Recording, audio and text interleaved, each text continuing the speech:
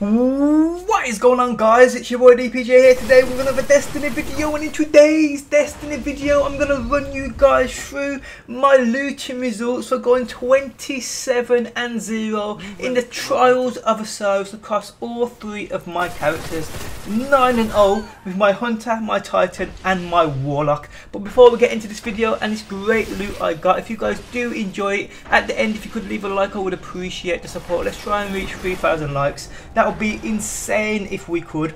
But starting with my hunter and from the lighthouse, I got the Jewel of Osiris, which is the hand cannon. I so desperately wanted a solar hand cannon and I got a void version, which I've already flipping got. So this one just got dismantled straight up. I got an etheric light, 9 passage coins and 4 motes of light. Now moving on to the loot I got from Brother Vance on my hunter. From the stone tier package I got 2 passage coins. From the bronze tier package I got 2 passage coins and 2 motes of light. I also bought the boots of the exile as well. These things look absolutely badass as you can see on screen now. Couldn't miss these, had to take them, just had to take them. From the silver tier package I got an etheric light, 2 passage coins and 2 motes of light. I also brought the fusion rifle as well as I've seen a few people using this in the Trials of Osiris and it wrecks people so I had to get this one, I really did.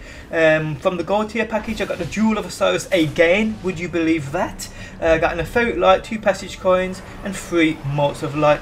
Okay, moving on to my Titan. And from the Lighthouse, I got the Summoner, which is the auto rifle with arc damage. I mean, that's fucking epic. The only primary auto rifle I own which has elemental damage is the Abyss Defiant with Solar. So getting the Summoner with arc damage is pretty badass. I wouldn't mind now. Another summoner next week with void damage, that'd be pretty badass. I also got an etheric light, 9 passage coins and 5 motes of light. Okay, moving on to Brother Vance and I accidentally opened the first two packages not realising I weren't recording.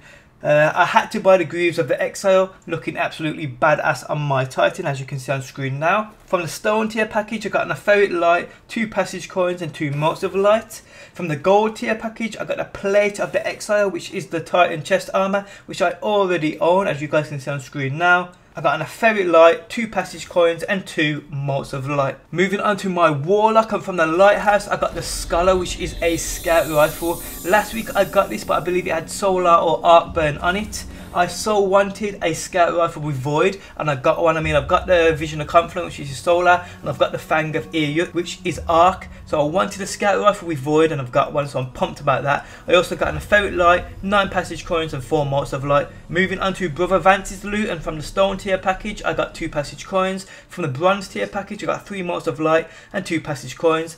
Also had to buy the legs of the exile as well looking pretty sick on my warlock as you can see on screen now. From the silver tier package I got the Truth Exotic Rocket Launcher. I got an Etheric Light, two Motes of Light and two Passage Coins. And from the Gold tier package, I got the Eye of Sol Sniper Rifle.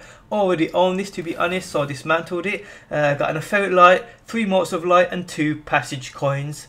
But yet that is what I got across all three of my characters, going 9 and 0 on each. Got quite a lot of loot, not going to lie to you guys. Got a few decent weapons I will keep also, along with the armors they offered as well this week.